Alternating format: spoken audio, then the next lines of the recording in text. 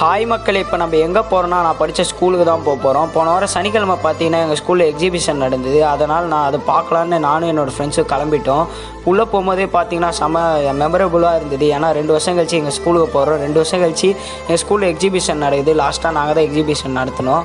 அதுக்கப்புறம் பார்த்தீங்கன்னா இப்போ தான் நடக்குது. ஏன்னா லாக்டவுன் ஸ்கூல் கொண்டாடு நடக்காதனால இப்போ நடக்குது. உள்ளே போகும்போது பார்த்தீங்கன்னா பசங்களாம் பயங்கரமாக பண்ணியிருந்தாங்க எக்ஸிபிஷனுக்கு தேவையானது தான் சூப்பராக இருந்தது. அப்புறம் எங்களோட மிஸ்ஸு எங்களோட மேம் நிறைய பேர் பார்த்தோம். எங்களோட பிரின்சிபல் நிறைய பேரை பார்த்து நல்லா மெமரபிள் டேவாக இருந்தது. எங்களை இன்னும் ஞாபகம் வச்சுருக்காங்க. அது பார்க்கும்போது ரொம்ப சந்தோஷமாக இருந்தது. ஃபஸ்ட்டாக ஸ்கூலே ஃபுல்லாக ரவுண்டு வச்சுருந்தோம். ஆனால் ஸ்கூல் வந்து நிறைய மிஸ்ஸு இல்லை. நாங்கள் படித்தப்போ இருந்த நிறைய மிஸ்ஸு இல்லை. அதெல்லாம் கொஞ்சம் ஃபீலிங்காக இருந்தது.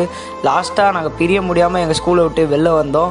இந்த மாதிரி உங்களுக்கும் மெமரி இருந்தால் கமெண்ட்டில் சொல்லுங்கள் பாய் காய்ஸ்